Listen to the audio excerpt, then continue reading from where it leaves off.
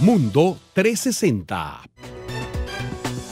Y bueno, Vladimir, tú nos decías también de la llamada y la visita que tuvieron con la, con la que era directora y que te hizo el reto, te exigió que le cumpliera para, para poder darte ese cubo, pues, Sí. para comunicación Sí, social. de hecho eso es algo que yo siempre le comentaba pues, a periodistas, colegas, exalumnos y amigos, que yo creo que la clave está no solamente en la persistencia, sino en cumplir, el honrar tus compromisos, ¿no? Luego esa llamada, pues no la volví a ver, no volví a llamarla durante mucho tiempo, calculo yo dos, tres años más que no, que no supe, sabía, sabíamos dónde estábamos, pero, pero yo pues me dediqué al tema de la docencia y al tema de las comunicaciones corporativas, asesorando distintas empresas, manejando campañas publicitarias, que es otra de las ramas que manejo. Eh, y bueno, poco a poco fui tomando cátedras. Al año siguiente haber arrancado, me ofrecieron, eh, dijeron, bueno, vamos a probarte manejando la coordinación académica de la escuela. Es importante destacar que en Guayana, eh, en la Católica de Guayana, tenemos nueve eh, escuelas, de las cuales esta es la más grande. Y es interesante porque aunque voy a colear esta autopregunta, muchas veces la gente me dice, oye, en, una rela- en, un, en un país... Ya te había tardado que- en hacer una pregunta. Sí, tal cual. Sí, ya me había tardado, pero yo me autopregunto. En un país como el que vives, ¿cómo es posible que hoy día tú hayas podido ser director de una escuela y cómo existan todavía escuelas de comunicación? Yo les decía, y es algo sorprendente, sobre todo para los que no, no son periodistas y no conocen el medio, pues resulta que cada vez que había un golpe a la libertad de expresión en Venezuela, los repuntes en las escuelas de comunicación eran sorprendentes.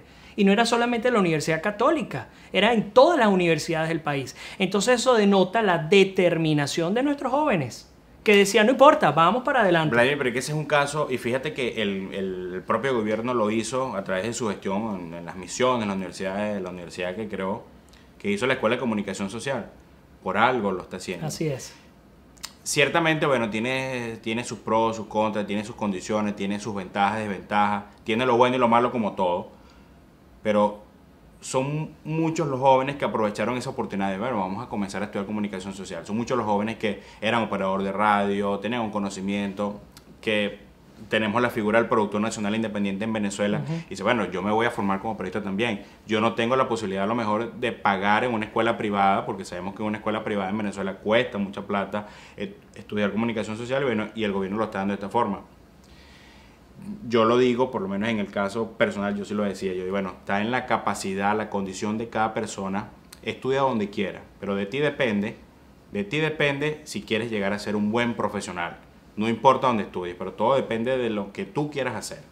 Yo por lo menos lo veía así y yo sé que hay muchas personas que lograron entrar a la Universidad Bolivariana de Venezuela, que se llama, ¿no? Sí. donde ellos hicieron la, la, Sí.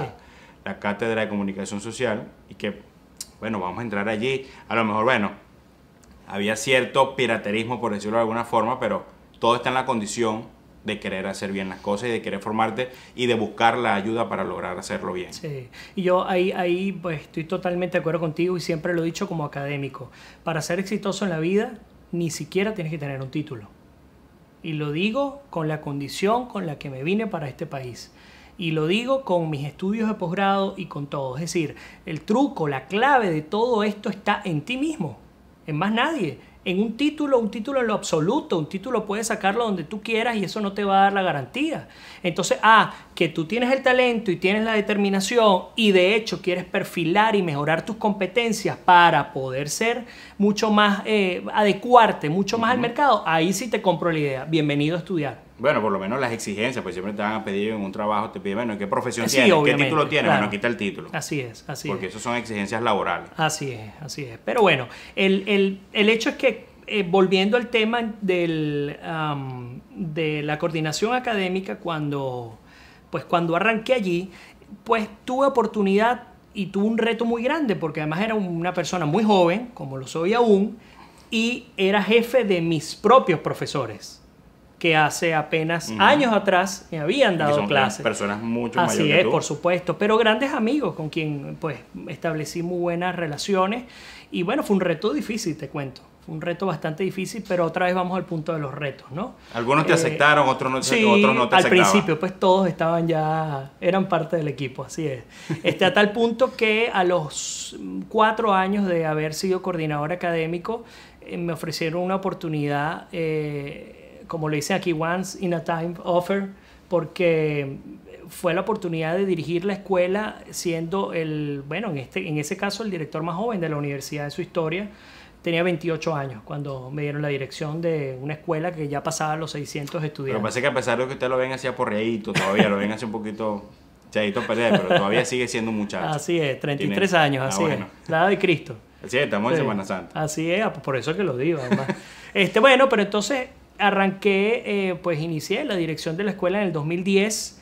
Nosotros teníamos, tenemos periodos de cuatro años. Mi periodo se vencía en septiembre del año pasado. Y por supuesto, esperando a, renovar, porque siempre hay, usualmente tenemos renovación. Tuvimos grandes retos. Yo, por ejemplo, dentro de la dirección de la escuela, recibí una escuela con aproximadamente 500, 600 estudiantes y con una mención. Y yo dije, esta escuela tenemos que potenciarla, tenemos que proyectarla, tenemos que convertirla, además de ser escuela, una unidad de negocios que produzca audiovisualmente, que produzca materiales comunicacionales. Y bueno, pues resulta que en, en un lapso de cuatro años duplicamos la matrícula, llegamos a mil estudiantes, en ese mismo lapso creamos dos menciones, que es la mención comunicaciones publicitarias eh, y luego la mención artes audiovisuales con unos estudios espectaculares, los cuales, eh, bueno, pues quedé enamorado y que hoy día, todos los días, los recuerdo con muchísimo cariño, además porque, bueno, fue fruto de un esfuerzo de muchísima gente, pues con la que pudimos trabajar y que con la que conseguimos grandes logros a partir de la gestión. Que bueno, dejaste marcada tu huella y tu trascendencia, bueno, tu, tu pasar por la, por la Escuela de Comunicación Social, allí queda. Hiciste un logro. Sí, pero eso sigue, Claro. eso va a seguir. Sí. Así es. Desde aquí sigues, sigues articulando. Claro que sí.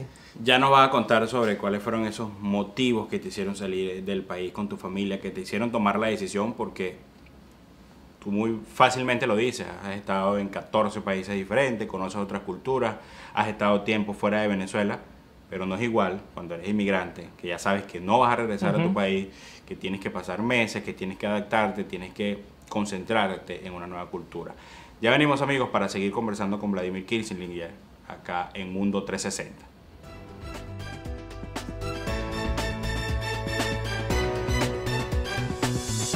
Mundo 360.